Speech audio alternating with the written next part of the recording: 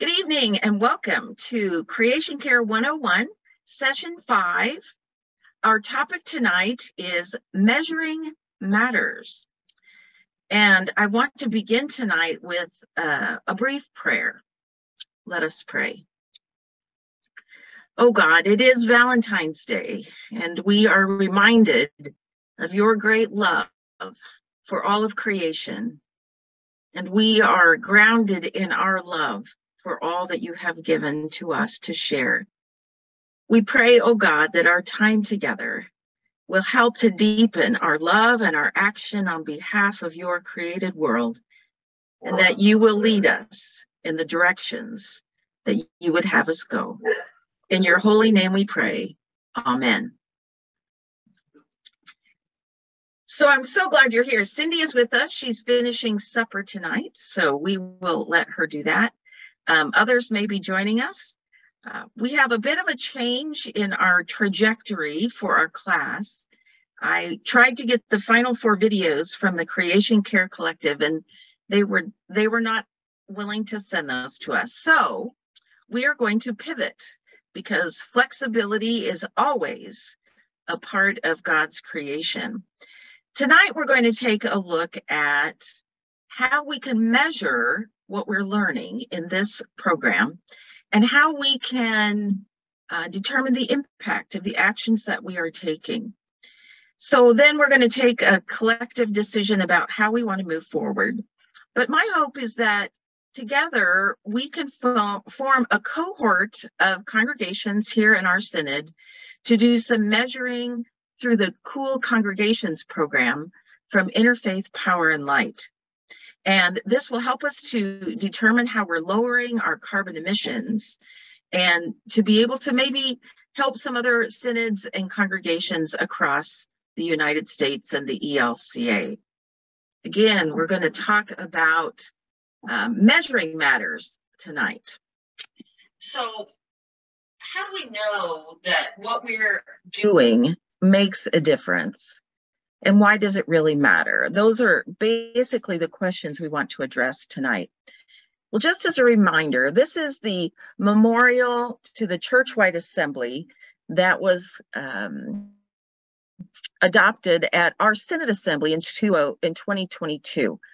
We reaffirmed the commitment of the church to engage in creation care and advocacy.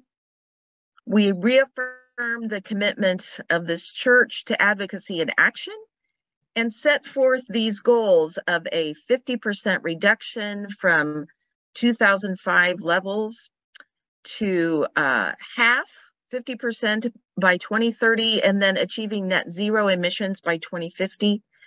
And just as a reminder, those goals come from the IPCC, which is the Intergovernmental Panel on Climate Change, a group of scientists convened by the United Nations to guide world leaders. So those were those go- where those goals came from. And then we also wanted to direct the church-wide organization to um, set the goal of reducing its net ha- net greenhouse gas pollution 50% by 2030 and that net zero emissions by 2050. So then also at the same time, the Synod Assembly resolution was to encourage our synod and congregations to reduce their emissions in line with that timetable, support investment and education of our synod and congregations about the urgency of the climate crisis, and we've been doing that through our creation care class here and through a variety of other initiatives um, by the Synod and the Lutheran Restoring Creation Mission Table. And then we also adopted this resolution that would encourage congregations and households to decrease their fossil fuel consumption by 10% per year for each of the next three years. So we've set some goals with some measurable uh, achievements, but we have not addressed how we're going to measure them. So that's where tonight comes in. Tonight, we're going to talk about the Cool Congregations program from Interfaith Power and Light. This is a, a, national program of different faith communities from across the United States. that take seriously their call from our faith to care for our neighbor by caring for our earth. And so this program comes to us through a stewardship lens. And one of the things that I like so much about it is that it gives step by step guides for congregations of any size to be able to measure their carbon emissions, uh, make goals, and make changes to reduce those carbon emissions. Um, there are also calculators for households as well as a whole congregation, so people can be engaged um, on a personal level as well as a congregational level. Then, if people get really excited, there are certification and challenges available through the program itself. This is one of the quotes I took out of the Cool Congregations material, which I think demonstrates how important it is that we think about measuring and how we demonstrate the changes um, that we're making and the impact that it has. So I'm just going to read this quote. The Environmental Protection Agency's Energy Star program estimates that if America's 370,000 congregations cut energy use just 20%, it would save nearly $630 million per year that could be applied to missions. These energy savings would prevent the equivalent reduction in climate pollution of eliminating emissions from 480,000 cars or planting 60,000 trees every year. So we're talking about a very considerable impact that we can be a part of through the Cool Congregations program. So the congr the pro the program has this wonderful startup kit, which has different um, chapters in it that helps us to learn how to form a strong green team, how uh, gives suggestions for projects, some that are under $25 to do and some that are over $25 um, there are some directions about energy audits and also then how to apply for certification. One of the things that I've learned about in the past couple of weeks from a, um, a pastor here in the Kansas City area is that they were able to change all the lights in their facility to LED lighting. And with business incentives and programs through Evergy, which is the um, electricity company here in the Kansas City area, they were able to do that at no cost. They were able to get um, help through the programs provided by Energy, Evergy and then providing their own um, installation. They were able to do that at no cost. And they are interested in helping us see then what a difference that makes in their energy bills. Now, unfortunately, this program that they used is only on the Missouri side, but I've also heard from a congregation in um, the St. Louis area that there are some programs that are available in St. Louis as well. So we're going to take a look at some of the, um, the possible uh, programs that might be coming up. But first, I want to share with you a little bit more about this startup kit to give you an idea of what might be available to um, you and your congregation. Now, Cindy, can you see the five steps to becoming a cool congregation? Is that coming up on your screen? Yes. Okay, I'm just making sure I'm sharing things correctly. So this is a downloadable kit that gives, um, like I said, different chapters with different ideas about how to implement this in your congregation with some handouts and resources, which I will introduce you to here tonight as well. Um, this was uh, put together by a woman named uh, Sarah Paulos of Iowa Interfaith Power and Light. And so it was someone from the grassroots who was helping her congregation in measuring their impact. So it gives some background on the importance of of why we do this and the effects of climate change, what the benefits are to a congregation. And um, it spells out these uh, steps of learning and planning finding ideas, getting help, making improvements, and then the steps for certification and challenges. Then it also talks about this household cool congregations contest, and that might be a way for us to engage more people in this work. So there's a little bit about interfaith power and light if you're not familiar with that. Um, um, but it goes through step by step and really helps congregations learn about why this is important and what we need to do. So here's a graph, for example, that shows the impacts of the rising climate change if we don't do anything over the next few years and how we can act now to mitigate some of those negative effects. There's a, a wonderful section in here about forming a green team. We also have great resources available to us through the Lutherans Restoring Creation website. So those are um, with some Lutheran resources that might be helpful in your congregation. A number of the congregations who are a part of this Creation Care 101 class have already established their own green team or creation care team or are in the process. So I feel like we've already gotten started in this kind of process already.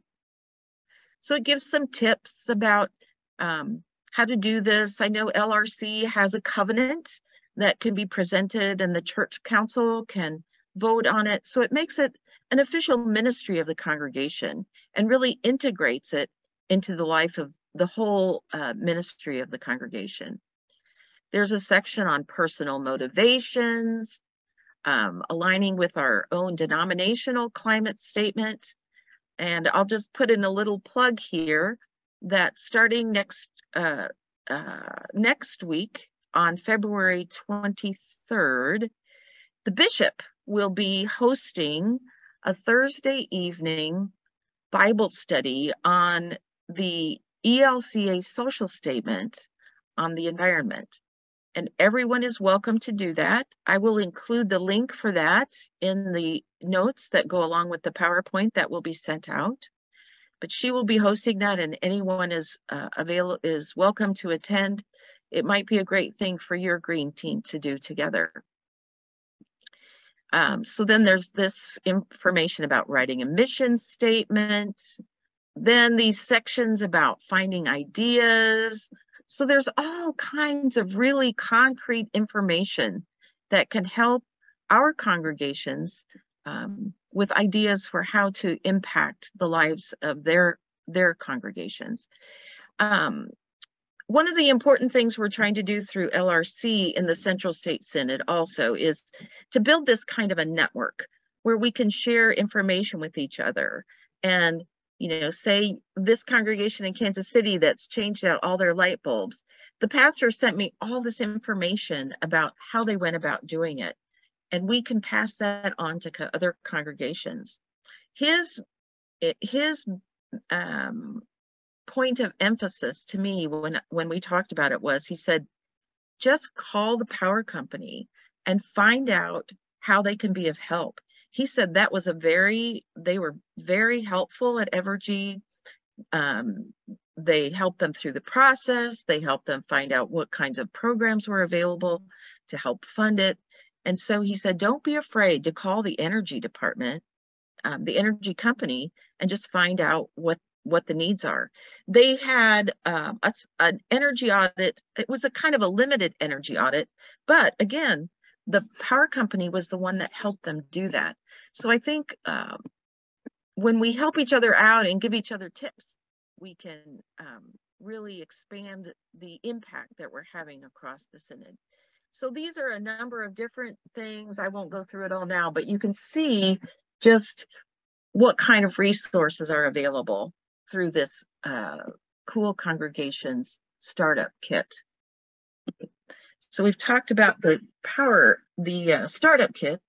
Also, they have calculators so that you can begin to really get a, uh, a sense of how the actions you are taking are making changes in your carbon emissions.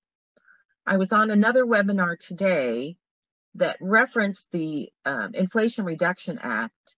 And one of the requirements of that is that there needs to be something in place for congregations to be able to, to set a benchmark for what where they're starting so that they can um, measure how they're changing. So in order to get any kind of funding through the Inflation Reduction Act, these are the kinds of things that we're going to have to be able to do.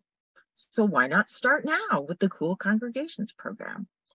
But what I like about the calculators is they have specific sections for different parts of congregational life and then household life. For example, in the carbon footprint calculator for the congregations, they look at facilities, transportation, food, and procurement. And if you think about the classes that we've already had through this Creation Care 101 class, we've talked a lot about food and procurement in particular. And we've talked about ways to decrease our carbon emissions in those two ways and the effect of household reductions, what that might do as well. I also think it's helpful as we begin to measure to meet congregations where they are. For example, if you are in a congregation that is just overwhelmed by the thought of even looking at um, energy reductions at this point, that's okay. You can start somewhere else. Maybe food reductions and food um, thinking about the theology of food might be a helpful place to start. I spent some time with my own congregation, Overland Park Lutheran, in a leadership retreat this weekend and presented on the theology of food. And that's the place that they're going to start to think about how are they, what are they serving? How are they serving it? So it gets into procurement as well. How can they reduce plastic, eliminate styrofoam, perhaps um, do some different things to help inspire their congregational members. Um, thinking about eating less meat and eating lower on the food chain. So that's the entry point for that particular congregation. Transportation may or may not be a big issue at your congregation, depending about uh, depending on where you're located and and the kind of distances that people have to travel. But these calculators give you some idea of what might be the best place for your congregation to start. So I'm going to share a little bit about the calculators on this. Um, here for the for an example, here is the congregational calculator. And this sample congregation gives you an idea of, of how um, the information is presented when you put in all of your information from your congregation. So um, there's a checklist, which I'll show you here in a minute, um, that helps you to gather the information you need to be able to fill in the calculator and make these. I'll show you the calculator itself, if my computer will help me find that. Um, so uh, here we are as it loads up. So it will talk about your location, um, your, and then ask you questions about your facilities, about transportation, as it builds that profile for each congregation, um, as we had here in this uh, sample one from Blue Sky Church in California. So this is where you save your data, which I'll show you here. The cool, here's a checklist that gives you all the information you need so that um, you you and your green team can look at all these different parts of your church life on your facilities, going through, um, usually you can get this off the internet. If you go into the account of your congregation, you can get all this information about um, the usage for the facility itself. And then transportation of staff and members, that's going to be something that you'll just have to gather from the people there. And then, um, then again, food, which we have talked about extensively through one of our sessions and procurement of supplies and that kind of a thing. So there's some great tools, again, to help you get started. Cool Congregations is adaptable for any size congregation. There's also an Energy Star congregation, especially for those of you who are really into getting into the nitty gritty. Um, and Cindy might be able to say a little bit about this because her congregation um, did this Energy Star certification several years ago. Um, but they have a workbook, an action workbook for congregations, and um, there's an overview, there's a webinar, there's all kinds of information for Energy Star. Again, um, de depending on which which direction you want to go, there's a lot of resources that can be helpful in both of these programs because there's an, a lot of overlap in terms of what they're measuring. Okay, I'm going to go back to the PowerPoint here and see where we are. So we've talked a little bit about calculators. Here's the sample church that we talked about. The, cal the calculator for households it talks about travel, home, food, and goods and services. I was fortunate to take a class called Living the Change from Lisa Brenskelle down in Houston, Texas. And I have lots of information that she shared um, on how we can lower our individual and household carbon footprints. And so um, those are things that we can share and help educate one another. So the resources that are available for this Cool Congregations program include that checklist that I just referenced, the Energy Star program that is available through, um, also through Interfaith Power and Light. They have lots of information on that. They have information about carbon offsets, that is planting trees when we can't get down to zero, there are ways we can offset our own carbon emissions. And then there's an upcoming webinar from Interfaith Power and Light on February 21st, and it's called Planning the Energy Future of Your Congregation. And I'll just share with you a little information about that webinar upcoming. The webinar will address the importance of benchmarking or creating a snapshot of your facility's energy use to shape your congregation's plan to cut energy costs and care for our sacred earth. This is the first step to making a plan to take advantage of federal funding for energy and resiliency improvements from the Inflation Reduction Act and the Infrastructure Investment and Jobs Act that will be available later this year. So if you would like to sign up for that webinar, I will include the link in the notes for tonight's webinar. Also, if you're not able to attend, because it is during the day, so that is difficult for some people who work, I will be able to get a recording of that and will be willing to share that when that is when that is ready. So just know that that is another resource that's going to be available for us. Any questions so far? I've thrown a lot of information out there. Cindy, any questions or comments or thoughts? No, I think it looks good. Okay. Well, so our next steps are to see if we can find a cohort of congregations from the Central State Synod to pilot this Cool Congregations program. So I'm hoping that we can get volunteer congregations from this class and then also from our March 4th retreat at Hollis Renewal Center. Right now we have 29 people um, I don't have the number of congregations that represents, but we have 29 people signed up for that uh, March 4th retreat. And I've had indications from the, the pastor that I mentioned about that had done their lighting changes. They might be willing to help with this, this as a co uh, congregation in this cohort. My own congregation, I'm hoping they might be willing to jump in and be a cool congregation.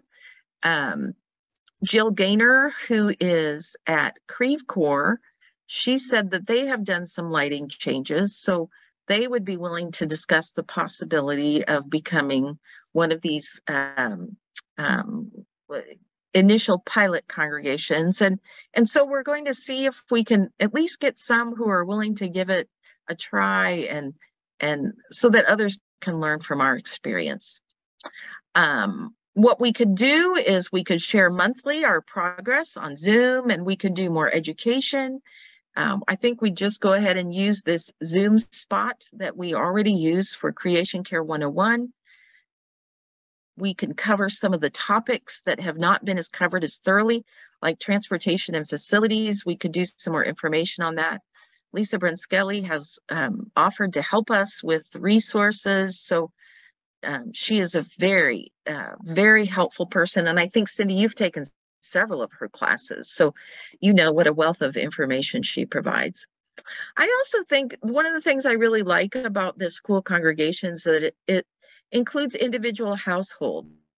Um, I think any way we can engage people, not only from a thinking perspective, but also a heart perspective and an action perspective, that's the way we're going to actually make systemic changes and move towards advocacy to change unjust systems. But I do believe that we have to start by helping people better understand themselves what's important to them and how they want to um, uh, make changes in their own lives. And that will then, I think, inspire changes in congregations and then further in systems. So I think that we encourage people to work on the strategies in the four areas that are feasible for their congregation. Not everybody's going to be able to do all four at the same time, but I think we start where we can and as we begin to do some measuring, we'll be inspired and hopefully inspire others to join us.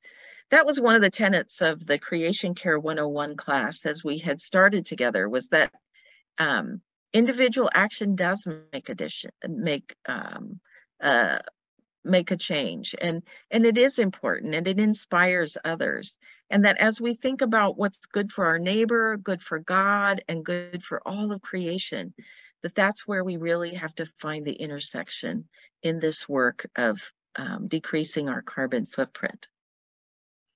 So, Cindy, any questions or discussions, or do you want to volunteer your congregation? Or sure, I do. You know, great, great. I well, imagine anyway. You know, yeah. and can you say a little bit about your process with the Energy Star back in, was it 2018, 2018? Is that when you did it? Well, no, I mean, 2017 is when 20... we certified, but I started way back in um, 2012. I think the oh, wow.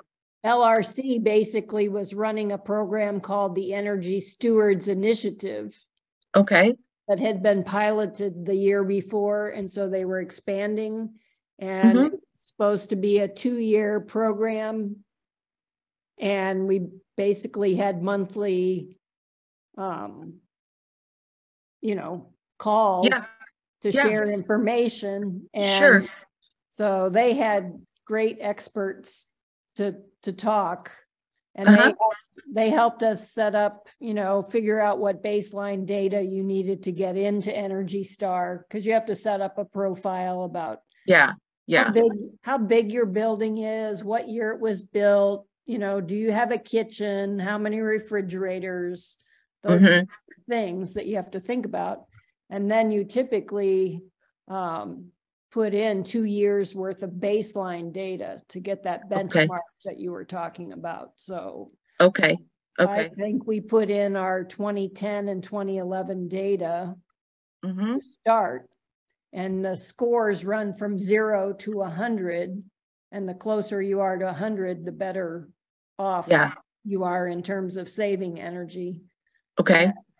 Um, I think our starting score was a 37 or a 36. It was, uh-huh. it was down there. And by the time we were certified, we were up to an 81. Wow. But, That's amazing. But we did a lot of, it coincided with our 100th anniversary. Oh, yeah. And so we our council was working on projects in those directions. Uh-huh. We put on solar panels. Wow. Um, we replaced, they did some like zoned heating and air conditioning, hmm you know, so that you're not heating the whole, the whole Right. space all the time. Right. And um, they did end up replacing windows because they were the leakiest old aluminum style. I mean, that's, that's usually lower down on the list of getting your money back. Uh-huh. hmm But we decided it was worthwhile in our school building. That's great. Um, and we also did an LED light project because we had old fluorescents and the, um, some of them, the, I forget what you call it, were starting to leak, you know, Mm, Like, Yeah, they couldn't be maintained real well. And so, okay. yeah, the, the electric company has incentive programs to make those kind of changes. Yeah, yeah, So it was a multi-year yeah. And it, Energy Star is a very rigorous process. And so I think for some congregations, it might be a little bit more than they want to do. They want to get started perhaps with Cool Congregations, which is a little bit less rigorous. But I also, I don't know enough about the Inflation Reduction Act to know if, if you have to go through Energy Star.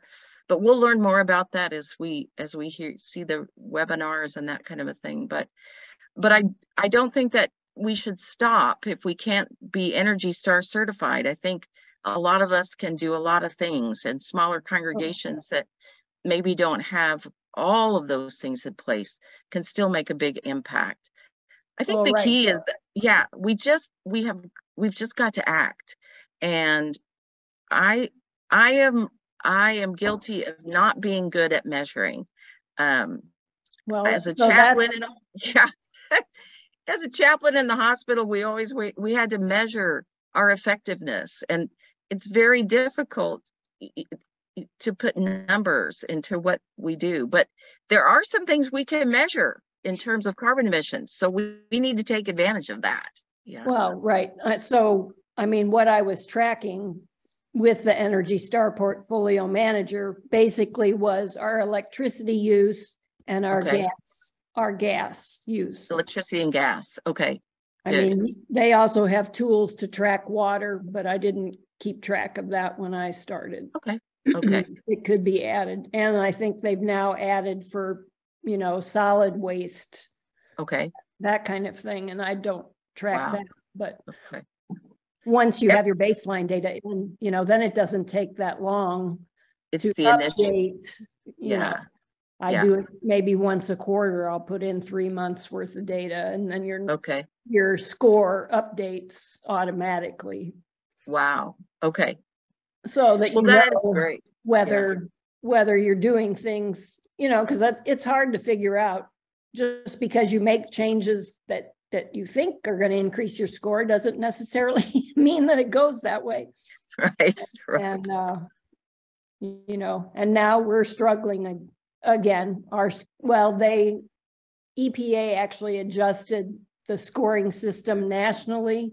Okay. Because I think they thought everybody had come up so high, so they, I think when they adjusted, we, we went from like an eighty-one to maybe it was a sixty-eight, it dropped that much. Wow. Okay. And then, um, but our old, we have an old boiler that's really giving us trouble now and, and we've had the windows open with heat and air conditioning on for ventilation during the Oh, pandemic COVID. time. Yeah.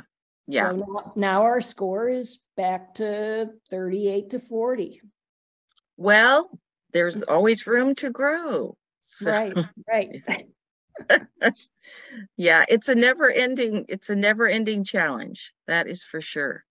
But it's so good to know, you know, there's people like you that have experience that can help others along the way. And I was really encouraged to see on the Energy Star site that they have specific things for congregations. And I know that um, at the ELCA level, they're also working with Energy Star to get some more resources for congregations. So um, I think this is where we're at a time that it's ripe for uh, jumping in and taking advantage of these possibilities. And I think taking advantage of some of the momentum that we're building with this class, with some of the resources coming out through the Synod. Um, so I'm excited to see if congregations will jump in. Um, so if you're interested here, those of you who are listening to this video, please let me know that you want to be a part of it. So moving forward, um, this video and PowerPoint, along with some of the resources I mentioned, will be posted online on the LRC website, and I'll also send those out to everyone.